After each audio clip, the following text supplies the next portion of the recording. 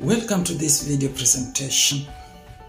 It is about the myth surrounding the democracy as a concept and democratization as a practice in the young democratic states within the African continent today. Actually, there are different opinions about democracy. While many people still believe that democracy is a myth, um, some at the same time do argue that democracy is a creation of Western civilization that seeks to put the world under their optic and surveillance when it comes to how governments and states treat their fellow citizens and how governments deal with issues of the electoral justice. None of this may be or may not be true. It depends on the context and the perspective. One important thing that we need to keep our focus on is the question of governance issues and human rights, in which there is call for standardization, especially in the era of the United Nations. However, back to the conceptualization of democracy. How do young people today understand democracy?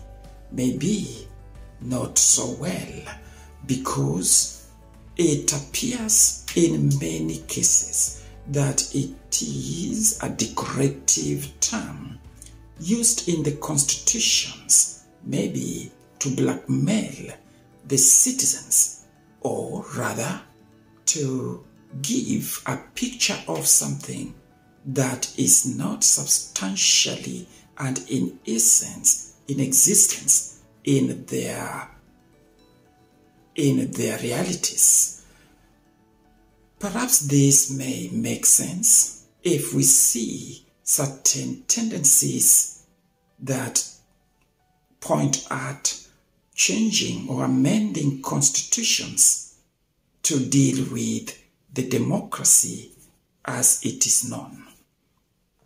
In the year 2005, the government of the Republic of Uganda removed the presidential term limit, and that would allow the incumbent president to run for several other terms as so long as he's capable and he can do that.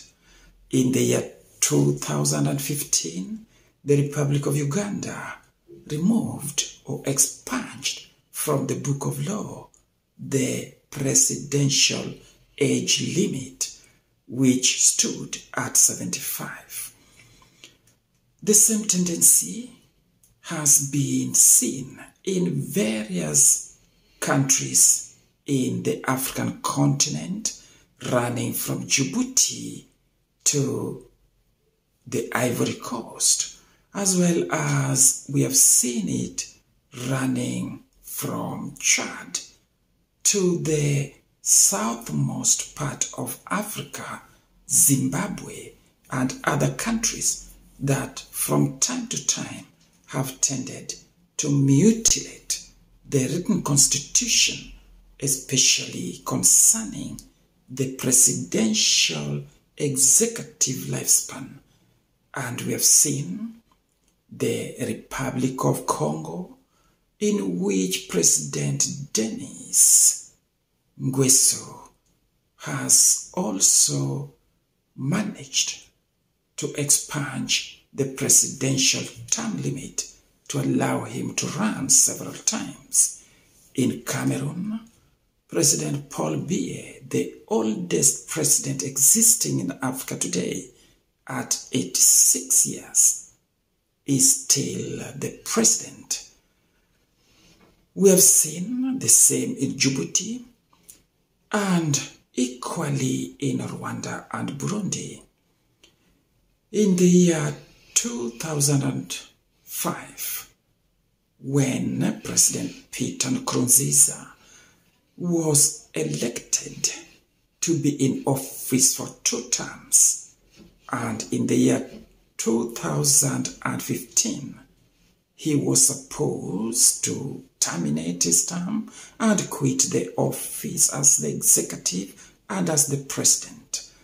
But he convinced Parliament in uh, the argument that the first term he was not elected by the people of Burundi. At the referendum, Burundians voted overwhelmingly to support his third term in office, and he did it successfully.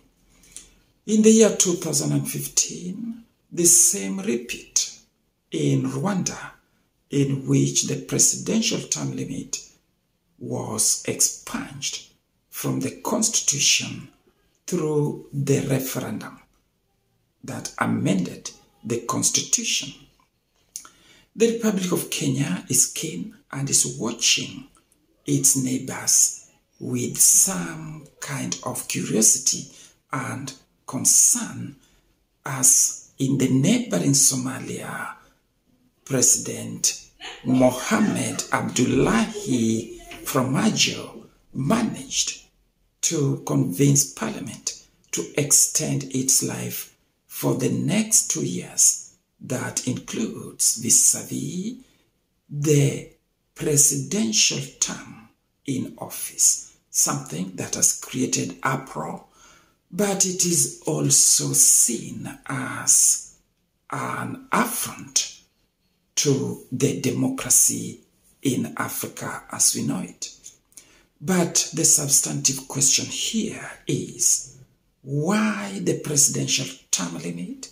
Why the presidential age limit when it comes to these African states that have received their independence and sovereignty after the independence and all of them have embraced and backed written constitution as the supreme law and the book of law that should guide and should give directions to how democracy is implemented in such countries. Let me take you through a short history of the African democracy before we get to the conclusion of this brief presentation. The year 1960 was known to be the year of Africa. It is so because, in my considered opinion, many African countries received their independence from their colonial masters between 1960 and 1970, but it proceeded to 1974 to 1994 and all the rest. But what happened in reality immediately after the independence most of the African countries and after concerted effort by African nationalists, African pan-Africanists, after receiving such independence, most of the African nations within quotes and independent states fell into a disastrous period of time, the dark period on the African continent, in which many countries fell into civil war or civil unrest, some serious and fatal conflicts, genocide, rivalries, uh, pitting different communities, different ethnic groups or tribes. Well, this is not far from the external interference in which European or the Western imperialists were keen in dividing and ruling Africa in what is known, quote unquote, as neo-colonialism. This is a hunt for natural resources that are badly needed by the industrialized countries, but also it brought untold suffering and onslaught on the African democracy. In Uganda, President Museveni was quoted saying, I quote, African problems and African solution. That means Africans themselves must find the solution to their problems, and that would be also related to the sustainable democracy. Liberal democracy has been on the mouth of every human rights advocate. But what does it entail? Does it fit in well with the African environment, with the African social settings? My question is yes and no. Yes, first because we all agree to certain international standards, certain standards that would suit the desires of every human under the Universal Declaration of Human Rights to live within the limits of human dignity and human rights, equality, freedoms, fundamental freedoms, political freedoms, as well as civil freedoms. In this case, it is a question of human rights, a question of good governance. It is also a question of constitution, constitutionality, constitutionalism, but also the principle of the rule of law. If the constitution is the apex law or the fundamental law under the principles of Professor Hans Kelsen, then it is the law whose integrity and supremacy must be protected by all good citizens and those who are aspiring to have a good life in a country that is democratic. For watching Peter here, University of Nairobi School of Law, Kisumu campus, and it would be great to read your comments, your remarks, and also to share your thoughts on this platform.